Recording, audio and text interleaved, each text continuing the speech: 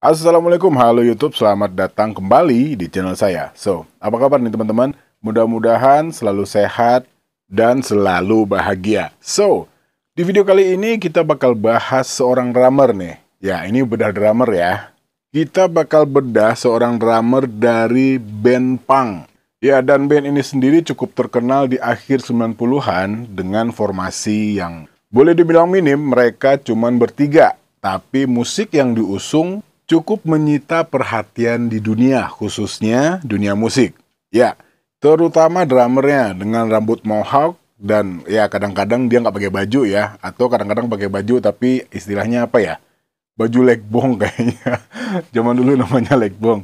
Oke, langsung aja kita sambut. Ini dia Travis Barker.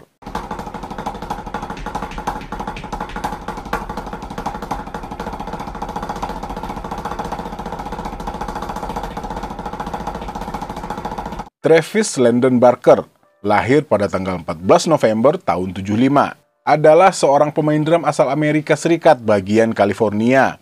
Ya, nama Travis terkenal setelah jadi pemain drumnya band yang bernama Blink-182. Travis juga main di beberapa band di luar itu, termasuk di dalamnya Boxcar Racer, The Transplant, Expensive Taste, The Suicide Machine, dan The Aquabats. Ya, Travis sendiri badannya penuh dengan tato. Ya, pertama kali katanya Travis ini bikin tato pada usia 17 tahun. Ya, kita bahas sedikit tentang latar belakangnya si Travis ini. Jadi setelah bubar dari band pertamanya yang berjudul Feeble, ya dibacanya mungkin Fable ya.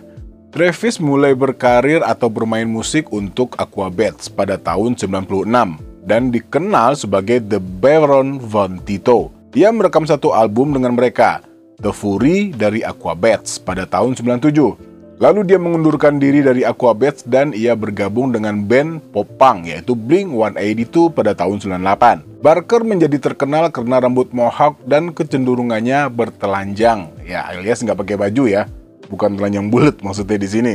Dan tatonya cukup banyak. Ya Travis telah membuktikan dirinya sebagai drummer yang sangat sukses memproduksi dan membuat remix drum dari berbagai genre musik hip hop, alternatif, pop, dan country. Ya, Travis juga memperoleh penerimaan yang signifikan dalam komunitas hip hop pada khususnya dan sering bekerja sama dengan musisi untuk menyusun rock remix selama masa karirnya. Oke, sekarang kita lebih mundur lagi nih ke awal kelahiran si Travis ini. Ya, Travis Barker lahir di keluarga Randy dan Gloria Barker di Fontana, California, yang terletak di San Bernardino County. Ya, Travis tumbuh di daerah yang tinggi kejahatannya, di mana ayahnya bekerja sebagai mekanik dan ibunya sebagai babysitter.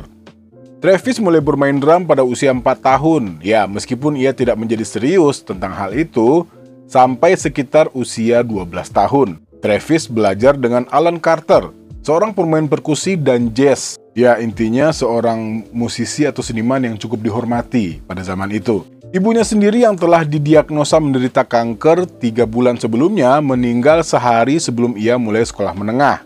Dia mengatakan kepada Travis untuk tetap bermain musik dan untuk mengikuti impiannya. Travis bersekolah di Fontana High School di mana ia bermain di ensemble jazz dan marching band. Ya kalau teman-teman sempat perhatiin di Instagramnya Travis, dia tuh kadang bergaul sama uh, pemain snare di marching band gitu ya.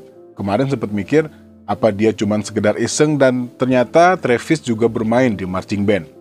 Ya Travis pastinya mendapat banyak pengalaman tampil di kompetisi regional dan festival. Selama tahun senior, ia mengikuti tryout drum corps untuk tur dengan sebuah band rock. Dan setelah Travis lulus dari sekolah tinggi pada tahun 93, ia menjadi anggota The Aquabats. Dia dijuluki Baron Von Tito. Travis tidak kembali ke drum chorus untuk anak seusianya. Dia keluar tahun 86. Dia mengikuti audisi dengan Blue Devils Drum dan Bugle Corps, tapi dia nggak masuk. Ya, buat yang nggak tahu, Blue Devils uh, marching band ini cukup terkenal ya di Amerika Serikat. Ya, mereka sering memenangkan kompetisi. Ya sebenarnya instrumen pertama yang dimainin Travis itu trompet, bukan drum malah. Ya bermain di marching band dan beberapa band swing. Ya, pastinya Travis ini adalah penggemar musik jazz. Ya, dia mulai bermain drum dalam sebuah band lokal bernama Riverside pada tahun 98. Travis ini termasuk salah satu pemain drum atau musisi yang punya usaha di luar musik. Ya, mungkin boleh dibilang Travis ini cukup banyak menginspirasi drummer-drummer di luar sana. Ya, termasuk dari cara bermain, ya style berpakaiannya juga, dan pastinya jenis dan model usaha yang dilakonin sama Travis. Dan Travis juga punya usaha ganja legal nih sekarang. Ya selain baju dan uh, recording company ya.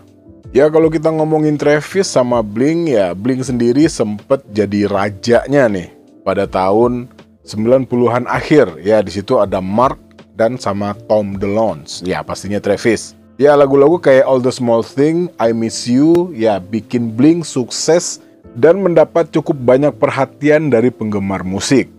Ya terlepas dari karirnya di Blink dan di musik, ya kita kembali ke Travis nih ya. Saat ini Travis udah memiliki dua orang anak dari pernikahan pertamanya. Ya kabarnya kemarin dia juga nikah sama yang cewek yang cukup terkenal itu. Dan sekarang lagi sibuk sama mesin dan Kelly.